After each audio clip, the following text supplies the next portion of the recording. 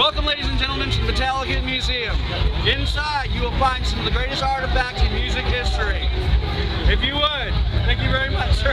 if you pay attention when you go inside, ladies and gentlemen, on your right, you will find James Hetfield's very first Flying V, the white one. Everybody remembers.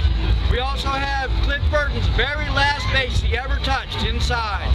We've got handwritten lyrics on the notebook paper in which they were written on. These are all part of Metallica's personal collection so that you all can share the super fan experience. Who's excited to see Metallica?